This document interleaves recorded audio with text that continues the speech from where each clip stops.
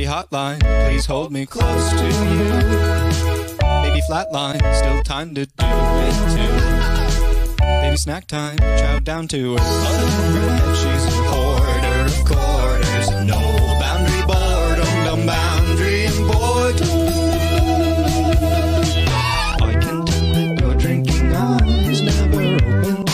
I and say somebody will die, the let you cry, and I hate hoping. Someday I will go back outside and see her okay.